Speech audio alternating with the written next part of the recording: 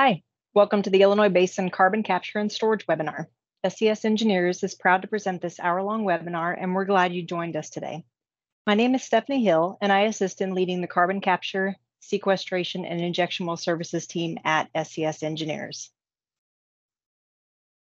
So why is carbon capture and storage important? The Earth's natural cycle continually produces and captures carbon, but the volume of greenhouse gases produced by our modern fossil fuel burning industries overwhelms that natural balance. Studies suggest that this imbalance leads to a depletion of our atmosphere, resulting in increased global temperatures and extreme weather patterns.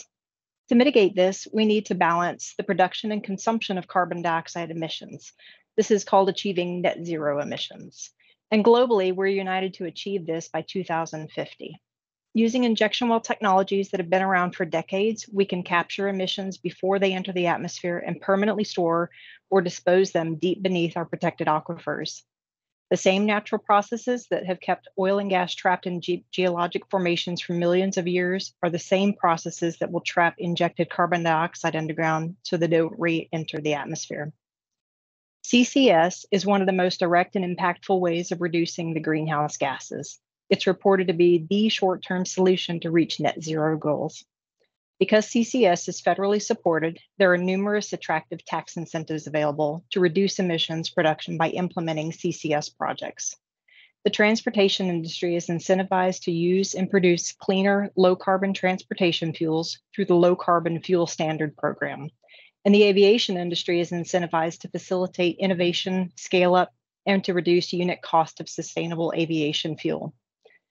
Although the, these programs are available to a wide array of industries, the lowest hanging fruit for CCS projects is realized by manufacturers with effluent streams rich in carbon dioxide, such as ethanol producers, cement kiln operators, and chemical and fertilizer manufacturers. In this webinar, we'll give you some general information about CCS you can use to determine if this is right in helping you reach your sustainability goals.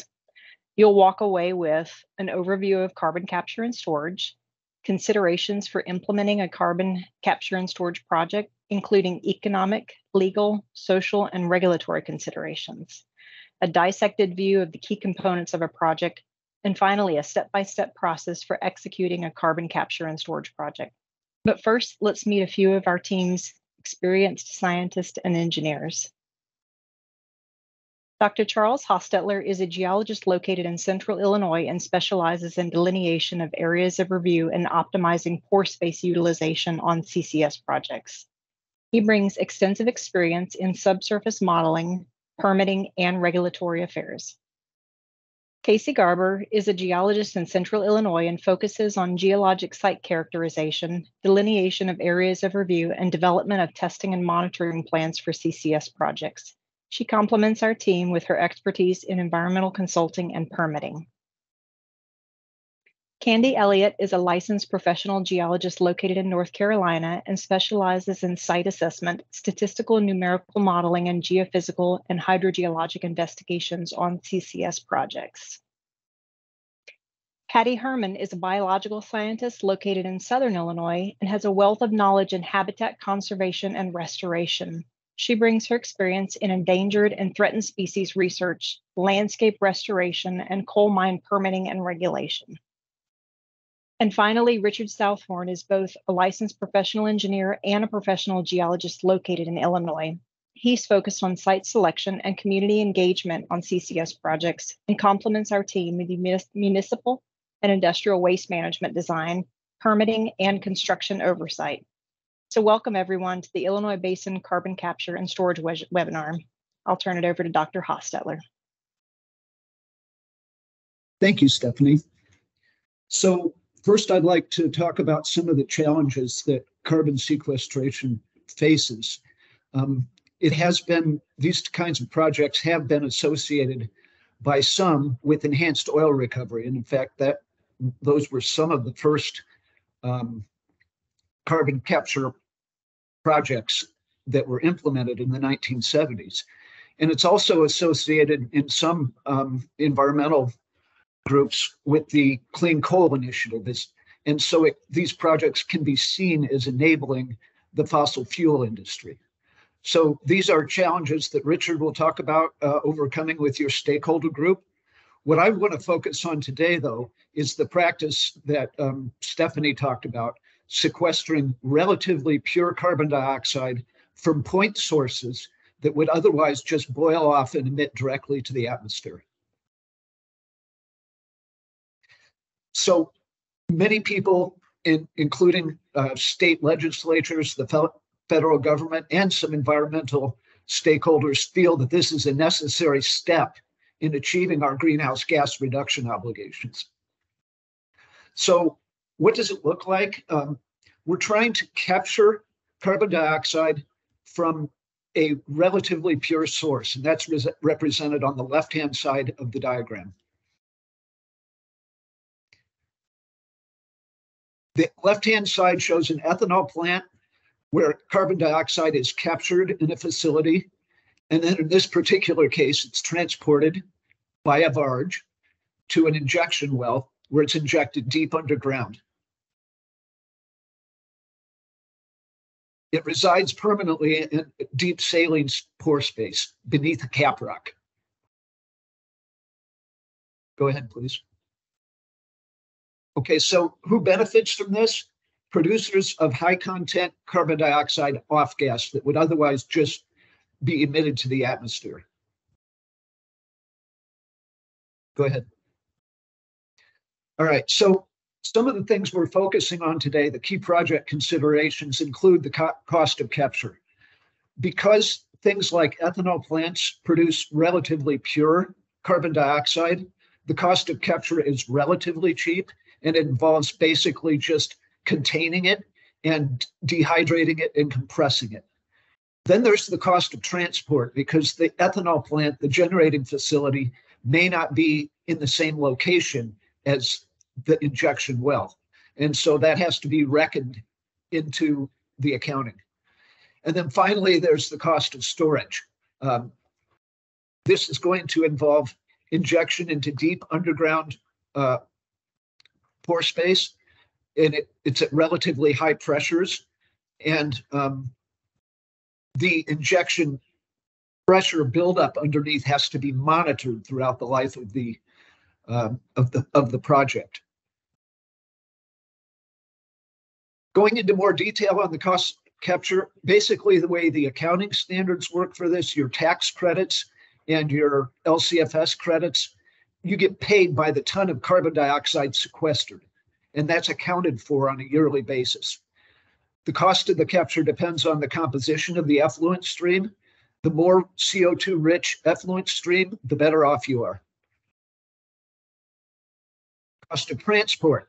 It isn't always possible to have a manufacturing facility located directly above a suitable sequestration site and the geographic footprint of a sequestration site of an underground well with this pressure buildup can be big compared to the footprint of a manufacturing plant.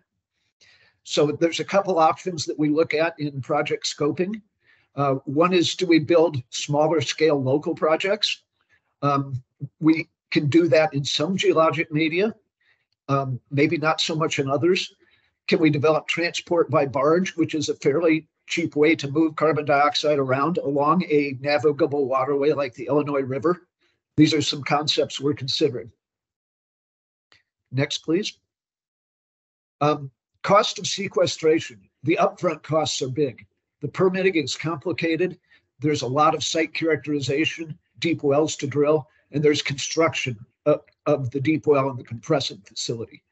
As I said before, payback is largely by the ton of CO2 sequestered a typical operational period might be 20 years. And if you're injecting it, say, 2 million metric tons, so for a total project size of 40 million metric tons, your income or payback is going to be stretched out over those that lifetime. And then you have to have um, post-injection care, and that has to be money for that has to be set aside in a suitable financial instrument. So as you're doing this, you have to have um, financial assurance mechanisms available and documented. Another consideration is that through DOE's CarbonSAFE program, there is federal grant money available for all different phases of funding of these kinds of projects, it's allocated on a yearly basis.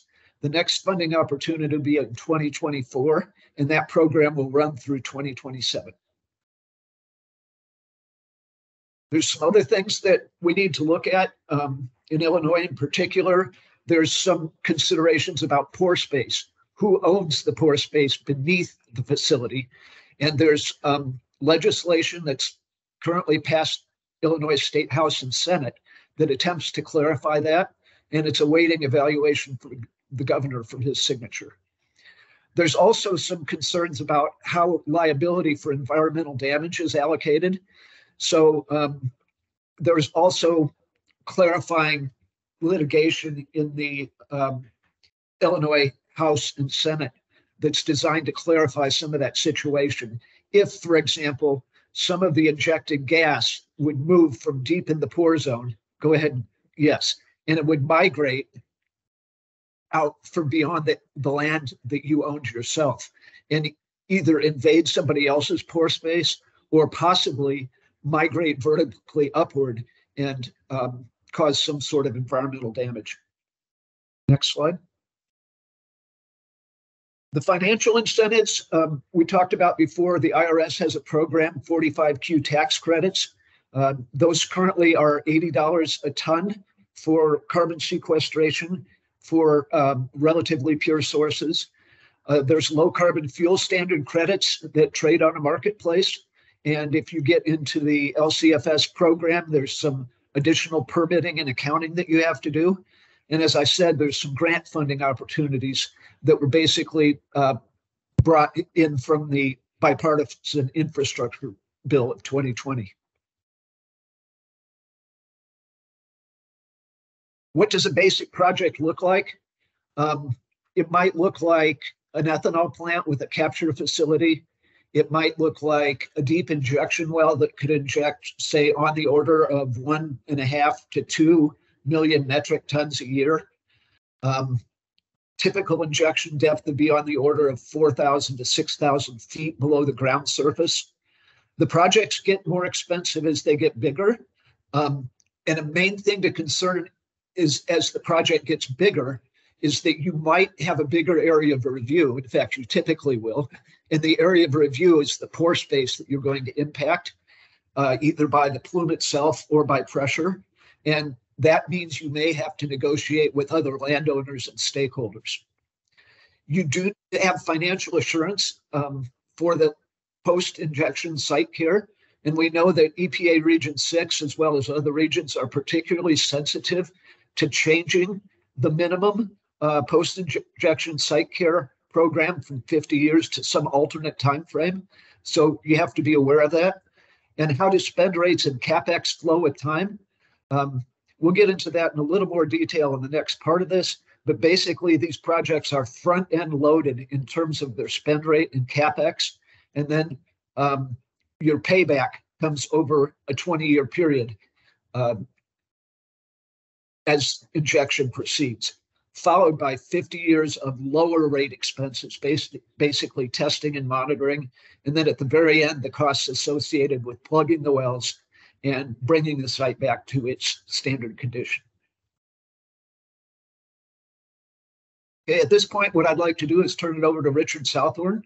Um, he's has a lot of experience about social awareness in our partners, uh, your partners, your stakeholders, and he's going to tell us about some of his experiences in that field. Thank you, Charles.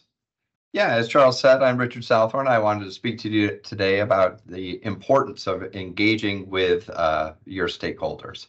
Next. So you are going to end up putting a lot of upfront capital and blood, sweat, tears into uh, getting uh, to your permit. Um, and at the end of the day, um, the, the things that will most put you at risk for um, for not getting that permit are things that you may not be aware of. And so engaging with the public is one of the very best ways to learn about the different concerns that, that are around your project so that you can proactively address and meet those concerns through the process uh, to help you be successful. Next. So I just want to start off and say stakeholders are not your adversaries. Stakeholders are really anyone who has a vested interest in the pro- project. And there's different types of stakeholders. There's politicians and community leaders, but there's also just neighborhoods, environmental groups. They're all going to have different concerns. All of those concerns matter to them.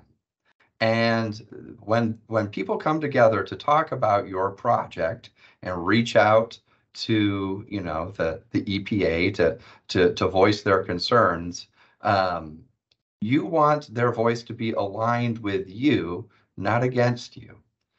I recommend very early in the project identify who your stakeholders are, reach out to them, and uh, just give them a 10,000 foot view of the project explain some of the benefits, why you're doing it, and ask for their feedback. Next. You're going to have to do this if your site is located in an environmental justice area. In Illinois, that means um, any area where uh, low income or minor minority populations are twice the statewide average. But I would recommend employing uh, community engagement really wherever you are located. Next. The good news about carbon capture is that it should be hugely popular. The White House's Council on Environmental Quality has basically given you the roadmap. It is good for the environment and it is good for the economy, which really anyone can get behind. Next. The problem is that people just don't trust companies.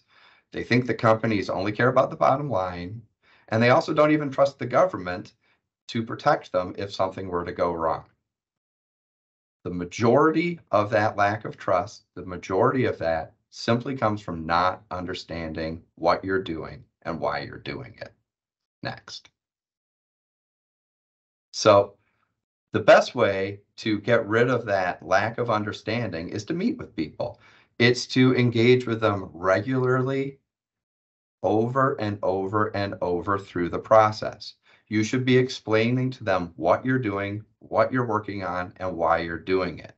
And if people come to you with their concerns, that is your opportunity to incorporate uh, their feedback into improving the project or addressing their concerns through dialogue um, so so that they don't leave a meeting more scared more alarmed. That is the goal. Next. So I'm just going to give you a few examples of what I view as successful stakeholder uh, communication. I knew an electric utility um, that had a low level selenium impact to the groundwater at one of their sites. And they didn't, they, they viewed it as, as something they, they obviously needed to clean up and they were working on it but they didn't view it as a, a critical concern. But they learned through speaking with the public that people were very, very nervous about health impacts. Uh, there was a playground nearby. People were concerned that their children were going to be getting sick. They were scared. And so this electric utility started putting out fact sheets where they talked about what is selenium. They started pointing out that selenium is in every multivitamin and that if you were to just eat one banana, you would you would ingest more selenium than if you drank the groundwater for a year. And they started to control the narrative. They started to meet the public with where they were at and and help them understand um, the the relative impact of this. That's successful. It helps um, it helped the public feel better through the cleanup process, and they were able to get rid of the selenium in the groundwater, um, but they kept the public informed through throughout the process. Another good example is there is a, an Illinois um, landfill company that was trying to permit a brand new landfill. Um, the only problem was is they had to um, destroy a fairly large wetland in order to do so. It wasn't a particularly nice wetland, and they were planning on purchasing some credits at a wetland bank to mitigate the impact. But they they started to learn through talking to to the public that the public was very very upset about this uh, impact to the wetland. And so they ultimately decided to team with the local park district where they would actually construct a new wetland on Park District property where that would have some boardwalks and some bird viewing telescopes and platforms so that the public could enjoy a new wetland. And this was so popular that they actually got letters of support to develop a new landfill, which is about the definition of a, of a NIMBY project. Um, so that was another huge success. I have a friend who works at the DOT and designs bridges. And he has always tell, told me that he would never ask the public to design a bridge truss, but he is always going to ask the public what color they should they want it painted. Because at the end of the day, people are going to drive over that bridge every day to and from work, and he wants them to feel happy about his project. And that is the spirit that I would like to, to convey to you of how to be successful in your projects. Um, with that, I'm going to turn it over to, to Patty to get a little bit more in the weeds about carbon capture. Thank you, Richard. My name is Patty Herman, and I would like to provide you an overview of the Class 6 permitting process. As Charles mentioned earlier, spend rates and capital expenditures fluctuate throughout the process. What we've tried to capture in the cost graph at the top of the slide is a representation of how expenditures change with each part of the permitting process. Let's begin with the pre-permitting activities. The pre-permitting activities include communication with regulators and developing a schedule for deliverable submittals to regulators with the goal of easing and accelerating regulatory review. A feasibility study and data gap analysis, as well as team development, will be necessary to determine if a Class 6 injection well project is viable. As Richard previously described, an important component of pre-permitting may also be to, do, to conduct an environmental justice screening. This is to assess if the anticipated area of review, or AOR, could include or be near disadvantaged communities, though it is notable that this is not currently a requirement. Next slide. The second step in Class 6 permitting process, process begins with site characterization, which provides the basis for demonstrating the site suitability and for implementing site-specific conditions of the project plans. This step includes the use of 2D and 3D seismic data, which are used to identify the geometry of storage zones, confining zones, and structural faults that could act as escape pathways it also identifies stratigraphic trapping features and is used to characterize the extents and thicknesses of the storage zones and confining units. Physical conditions assessed in the site characterization will be used as the basis for the numerical modeling conducted for the evaluation of the AOR. The AOR is the delineated area for a proposed well and includes the region surrounding the proposed well where underground sources of drinking water, or USDWs, may be endangered by the injection activity. The rules require that the AOR be delineated using computational modeling, and the AOR must be reevaluated periodically during the life of the project. Within the AOR, all potential conduits for fluid movement out of the injection zone, including both geologic features and artificial penetrations like old oil wells, must be identified. Any artificial penetrations must be evaluated for the quality of casing and cementing and in the case of abandoned wells, for the quality of plugging and abandonment, and corrective action must be performed on any identified artificial penetrations that could serve as a conduit for fluid movement. Corrective action plan is tied with the AOR and documents the owner or operator's compliance with the AOR delineation requirements, including the AOR delineation modeling approach. It also presents a comprehensive strategy for AOR reevaluations over the duration of the project and describes how any necessary corrective action will be conducted. Financial responsibility demos. Uh, the financial responsibility for corrective action, injection well plugging, post-injection site care and site closure, and emergency and remedial response must be demonstrated. The financial instruments could include trust funds, letters of credit, surety bonds, financial tests, corporate guarantees, insurance, and escrow accounts. Well construction details. The design of the well will be suited for the planned injection rates and site condition. This section of the permit includes well bore schematics. Pre-op te- testing. This includes proposed pre-operational formation and well testing program that describes analyses of the chemical and physical characteristics of the injection and confining zones and details how wells will be tested. The purpose of the pre-op testing program is to confirm that all tests are designed to collect relevant information needed to verify that the well is properly constructed, to gather information on subsurface formations and fluid geochemistry, and to address identified uncertainties. Additionally, the program should also confirm that the proposed testing will provide information to support op- operating conditions, inputs for modeling to delineate the final AOR, and to establish a baseline for parameters that will be measured during the injection and post-injection phases. Proposed pre-operational testing. The proposed pre-operational testing plan confirms that all tests required by regulators are planned and designed to collect the information needed to verify proper well construction, to gather information on subsurface formations and fluid geochemistry, and will address unidentified certain identified uncertainties. Proposed operating conditions. The purpose for describing proposed injection pressures, annulus pressures, and planned downhole shutoff systems is to ensure that injection rates and volumes are appropriate to the site geology, considering any uncertainties identified in the course of site characterization and the well's construction.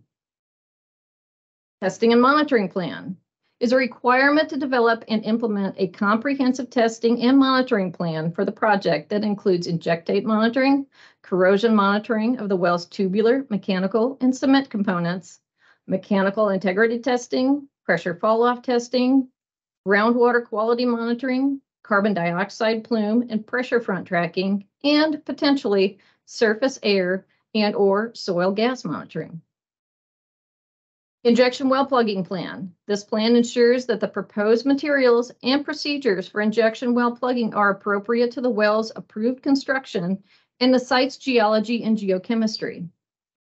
This evaluation is important in that it also ensures that injection well will not serve as a conduit for fluid movement that could endanger USDWs following cessation of injection. The post-injection site care and closure plan, or PISC, also referred to as the PISC, this plan describes the proposed post-injection monitoring activities used to ensure protection of the USDW. Emergency and remedial response plan describes actions to be taken to address events that could cause endangerment to the USDW during the construction, operation, and post-injection phases of the project. Injection depth waivers. Applicants seeking to inject above the lowermost USDW must submit a request for an injection depth waiver. This waiver provisions flexibility to allow injection into a non-USDW formation while ensuring that USDWs above and below the injection zone are protected from endangerment where the lowermost USDW is very deep. An aquifer exemption. Class 2 well owners or operators injecting into an exempted aquifer who have made a decision to transition from a class two to a class six and anticipate that the carbon dioxide plume and pressure front will expand beyond the area covered by an existing class two aquifer exemption will need to apply to expand their areal extent of the aquifer exemption. The aquifer exemption affords applicants an opportunity to assess and select a suitable site in areas where oil and gas recovery has occurred while also protecting USDWs. Next slide, please. The Class 6 permit approval process. Once uploaded to the Geologic Sequestration Data Tools, or GSDT, the EPA will conduct a review of the application and will determine administrative completeness within 30 days. If it if administratively incomplete, a notice of deficiency or NOD will be sent to the permittee for corrections or revisions. Corrections will be made and resubmitted to the GSDT for additional review. This process may result in additional deficiencies requiring requiring NODs. Once found administratively complete, the application will then move on to the technical review. This process is carried out similarly to the administrative review, with an exception to the 30 days associated with the admin review. Unlike the admin review process, there is no timeline associated with the technical review. After the permit is deemed both administratively and technically complete, a permit to construct is issued. So now you're ready to begin construction, but wait, there's more. Before any construction begins, additional permitting needs to be considered. Next slide. The other permitting con- considerations prior to construction. um, it is important to point out that these permits may be acquired in parallel with Class 6 permitting, which is why the cost curve might seem higher than expected. Past practices have shown that the sooner you begin the process of acquiring the additional permits, the better. However, timing of securing additional permits can be tricky. Too early and time or money can be wasted getting a permit for a location that's deemed unsuitable. Too late and time is lost securing permits to allow for construction to begin. Some of the additional permits or reviews that may be necessary, depending on the location of the injection site, include building permits regulated by the city or county, NEPA or National Environmental Policy Act. This review is required when federal funding is used for a project. Depending on the level of review, a categorical exclusion known as a CATEX, an environmental assessment, an EA, a finding of no significant impact, FONSI, or an environmental impact statement, EIS, may be necessary. These, these uh, processes may take more than a year to complete. It might be a consideration to begin your NEPA and CEQA permitting as soon as a project is determined to be viable, rather than waiting to begin after the Class 6 application is submitted, given the length of time it may take for review. However, consider the risks involved by beginning the NEPA consultation early in the permitting process, as well as waiting until the permit has been submitted. A risk assessment should be evaluated for your specific project. The Endangered Species Act consultation, or ESA, must be conducted at federal and state levels, beginning with an informal consultation, review, determination. If a biological assessment determines that an adverse effect is likely, a formal consultation and biological opinion will be prepared. These re- reviews may also take more than a year to complete. State EPA may require a National Pollutant Discharge Elimination System, or NPDES, permit to be issued for any potential point source discharge into a water of the United States.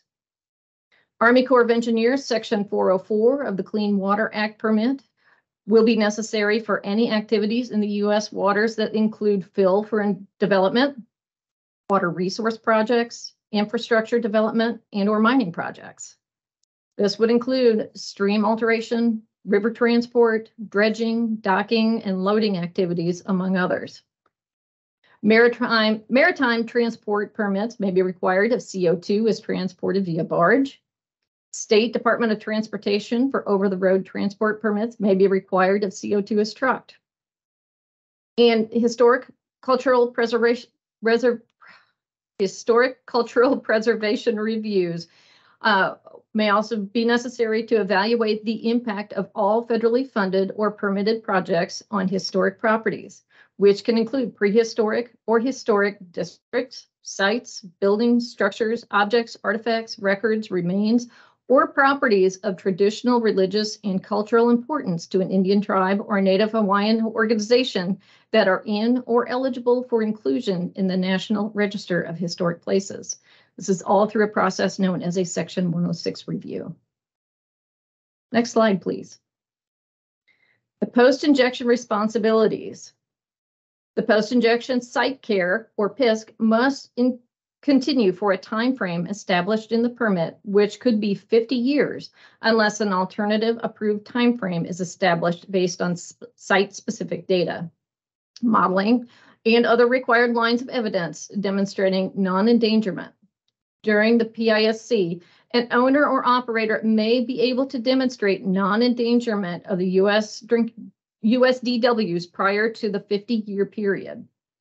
Under these circumstances, the owner or operator may submit supporting evidence of non-endangerment to the UIC program director to support site closure at which time the UIC program director may subsequently authorize early site closure with substantial evidence that geologic sequestration project no longer poses a risk of endangerment to the USDW. Thanks for your attention and your time, and I will now turn it over to Casey Garber and Candy Elliott.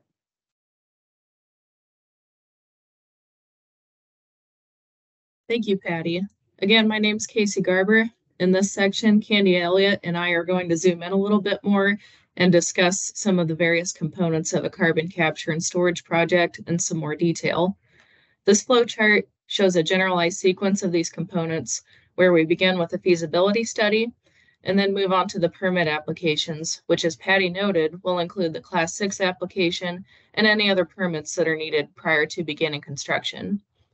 Once permits are approved, we move into the construction phase, then pre-injection, which involves testing activities and refinements to the site data and various portions of the permit application. Then the injection phase begins, which focuses on operations, testing and monitoring, and reporting. Once injection ends, we move into the post-injection site care phase with continued testing and monitoring and reporting, with the process ending at site closure. Candy and I are going to discuss these individual components in more detail in these following slides. So a carbon storage project should always start with a feasibility study. Now for a little background on Illinois, the state contains a large portion of a geologic feature known as the Illinois Basin. The Illinois Basin has been well studied for many years, particularly in the context of hydrocarbon production, there are several historic and existing Class 1 and Class 2 injection and disposal wells that have demonstrated the utility of underground injection for permanent disposal and isolation of fluids within geologic units. Additionally, the basin has hosted the Illinois Basin Decatur Project, which is the only CCS project that has been fully implemented to date, and it has demonstrated that Illinois has remarkably suitable geology for carbon sequestration. In general, a large portion of the basin contains likely suitable geology for sequestration, which is noted by the areas highlighted in green on the map to the left. That said, general suitability does not imply underground storage will be possible everywhere in the basin. So when scoping a project, it's highly recommended to conduct a detailed feasibility study, particularly in areas with a higher degree of geologic uncertainty, as shown in yellow on the map. If sequestration is not feasible in your location, or there is too much geologic uncertainty shown on the map in red, you can consider looking into offsite sequestration options. Next, please. So the pre-permitting workflow consists of two overarching phases. The first phase identify uh, focuses on identifying stakeholders, addressing community concerns, and performing an environmental justice review, as Richard uh, detailed earlier in this presentation. Next slide, please. The second phase includes an analysis of the fiscal costs and benefits. Capital outlay will include large-scale funding of the project, including permitting, capture, transport, construction, testing. Some of these costs will be fixed and others will depend on factors such as the cost and availability of the materials at the time of construction, um, the cost of maintenance and monitoring, and any potential disruptions due to weather, power outages, etc. The benefits of the project include carbon credits. Um, recently, uh, I heard a value of $85 per metric ton. And there are tax incentives, government funding under the infrastructure and bipartisan bipartisan infrastructure law and the Inflation Reduction Act. Other benefits that are not monetary but are no less important to the equation include compliance with upcoming emissions regulations and community benefits such as job creation, infrastructure improvement, and greenhouse gas reduction. Next. Okay, now we're going to talk a little bit more about the permit application process. So one of the largest efforts for the class six application is the site characterization portion, which is a very detailed and comprehensive geologic assessment aimed at demonstrating that your proposed sequestration site has the suitable geologic characteristics for sequestration. This will require taking a look at the regional scale geology with an example shown in the cross section on the right, as well as zooming in and looking in closer detail at your local scale geology. This site characterization piece generally includes the compilation of various maps, cross sections, and a detailed narrative. This assessment is absolutely essential to demonstrate the proper characteristics are present to lead to permanence of injected CO2 and the protection of underground sources of drinking water. At this stage, you'll also complete a detailed characterization of the injection zone that will be permanently storing the injected CO2 and the confining zones and structures that will prevent the CO2 from migrating. This detailed characterization will include gathering existing and typically new core data reviewing and correlating existing well logs and tying those logs to acquired geophysical data, such as 2D or 3D seismic data, with an example of these shown from the Illinois Basin Decatur project above. Next slide, please. Another major piece of the permit application is the area of review and corrective action plan. During the permitting process, you're required to build a computational model using site-specific data these data that are gathered and developed for the site characterization portion of the process are used to drive the construction of this computational model. Those data are then turned into your model layers, boundary conditions, and model parameters.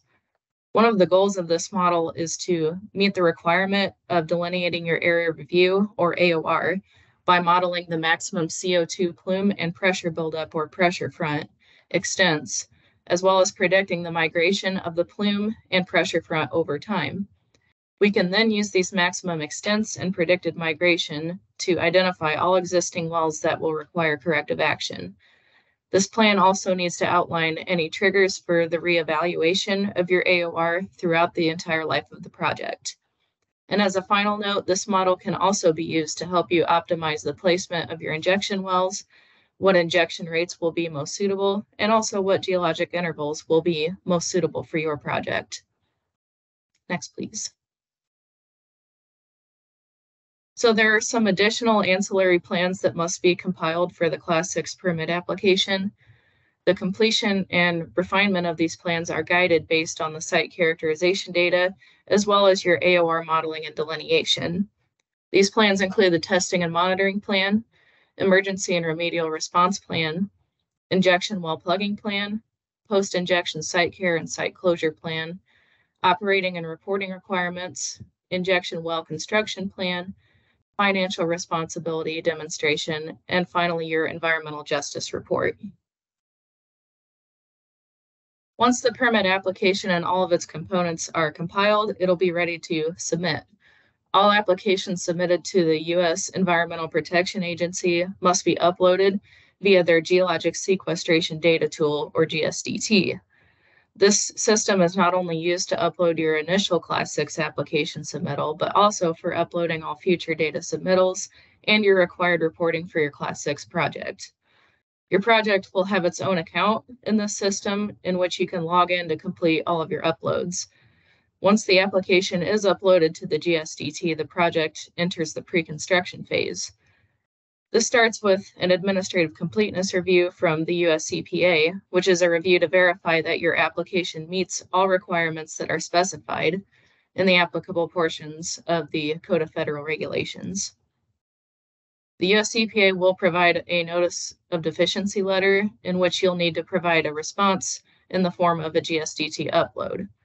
The agency will ultimately notify you once your application is deemed administratively complete. And at that point, the detailed agency review will begin, which can take anywhere from 18 months to two years or more. When that review is complete and the agency is ready to approve the application, they will issue a permit to construct and the project will enter the pre-operation phase.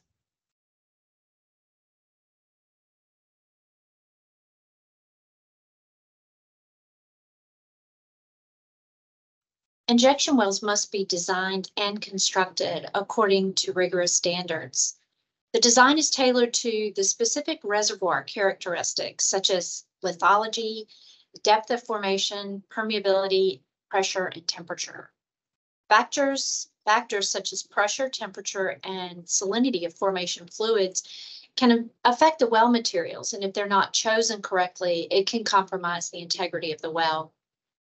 The well design must also prevent CO2 and fluids from moving into zones outside the injection reservoir. Critically, into the lowermost underground source of drinking water, or USDW.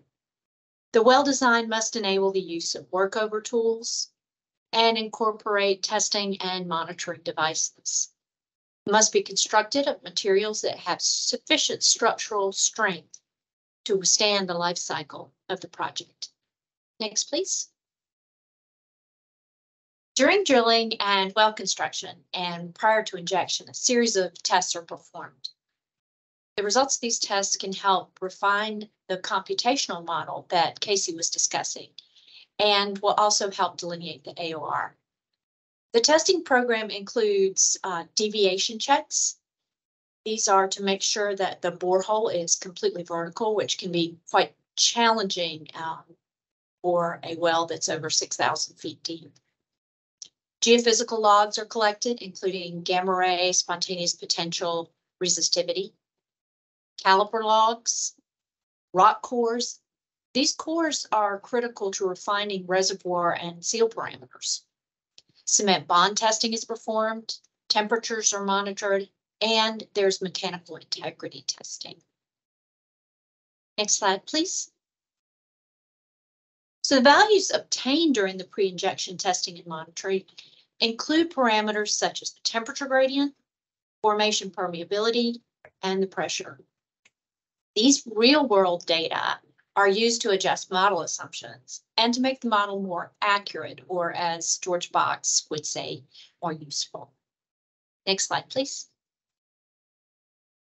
During injection, testing and monitoring are continuously employed to meet monitoring and reporting requirements. Reporting frequencies can range from quarterly to annually. Mechanical integrity and pressure fall-off tests ensure that the well and the injection are performing properly. Vertical seismic profiling can help map the CO2 plume relative to the injection well and changes to formation material properties. Pressure front monitoring ensures that pressures in and outside the reservoir do not exceed projections. Groundwater monitoring helps identify any effects on groundwater quality Microseismicity monitoring identifies movement along faults and fractures. Surface and near surface monitoring measures CO2 flux. Next, please.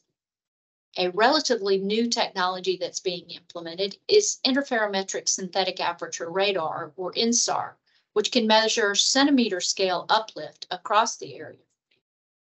Drones can also assist in measuring a number of properties, and can reduce monitoring time and expense. And back to you, Casey. Next slide. Once injection ceases, we move into the post-injection site care period. The injection well will need to be plugged according to your injection well plugging plan if it will no longer be used. It is acceptable to convert the injection well into a monitoring well for a brief or extended period, provided that you can demonstrate the well retains mechanical integrity and USDW protection is ensured. If not being used, it will need to be plugged. During the PISC period, we conduct monitoring that provides information on the plume and the pressure front behavior to confirm that USDWs are protected and to support the final non-endangerment demonstration and subsequent site closure. This includes continued plume and pressure front tracking, and geochemical monitoring and reporting. This period has a default duration of 50 years or an alternative duration as demonstrated in your PISC plan. It must continue until a non-endangerment demonstration is approved and site closure is authorized. Next, please. Once the non-endangerment demonstration is approved, we need to cease monitoring activities and submit a notice of intent to close the site. At that point, all monitoring wells should be properly plugged. Also, any other site activities needed to restore the site to its prior operating condition can be completed using decommissioning of any on-site facilities that are remaining. Once the site is closed, we submit a site closure report that details the closure process. A final step is to record a notation on the deed to the facility, essentially stating that the land was used for sequestration of carbon dioxide. Next, please. So now that we've discussed the details of the process behind a CCS project, let's take a look at some of the lessons learned from CCS work that's been taken, that's, excuse me, been completed to date.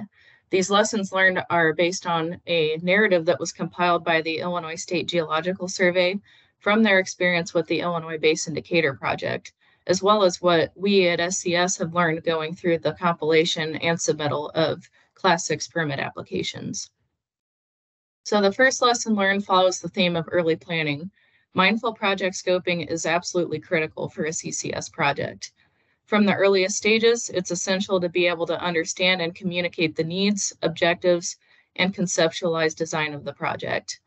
It is important to understand what the natures and goals of the CCS project are and strategically tailor your permitting process to the project design with those goals in mind. Early financial planning is also important. You need to consider your stakeholders and where they come into play. Also consider that CCS projects involve long-term operations and monitoring efforts. Your spend rates will be variable throughout these projects and will be highly dependent on what phase the project is in.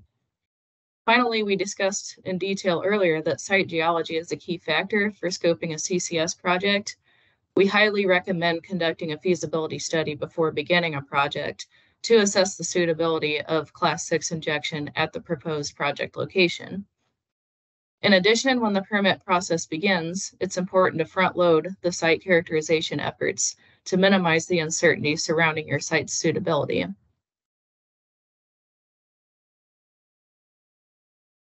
Another lesson learned is that proactive engagement surrounding your project is more likely to help lead the, the project to success. It is a key to begin communicating with your project stakeholders, your applicable regulatory agencies, as well as the public early in the process, and to keep the communication ongoing throughout the process. We recommend developing outreach plans to help open and facilitate those lines of communication with stakeholders as well as public and environmental advocate groups. It's important to remember that the people want to learn about your CCS project from you, not in an announcement from the regulatory agency. Next, please. A final lesson learned is that an iterative project approach should be used. A Class 6 permitting project is not a cookie cutter design. Every project will be unique and it needs to be designed on a site specific basis. Again, we stress that it's important to be robust at the front end of the project when gathering site characterization data and to have a good handle on what the operational parameters will be in order to develop a good first order model and initial area of review delineation. Your monitoring system design should then be tailored based on these data. Finally, the baseline and operational monitoring data are used to calibrate the model and refine the area of review delineation. This is essentially a feedback loop that will go on throughout the life of the project. And this approach is discussed at a high level in US EPA's Class 6 permitting guidance documents, and it does allow for flexibility in how the approach is implemented. With that, I'd like to thank everyone for their time and attention, and I will turn it back over to Stephanie Hill for a few closing remarks. Thank you. Thanks, Casey. Appreciate that presentation, especially to our entire group. So that wraps up our Illinois Basin webinar on carbon capture and storage. On behalf of the speakers here today and the entire SCS carbon sequestration and injection well team, I want to thank you for choosing to listen and to this presentation. If you'd like to learn more about how your business can participate in this fast growing market, I urge you to scan the QR code on the screen. Here you'll find a number of free publications for you to download.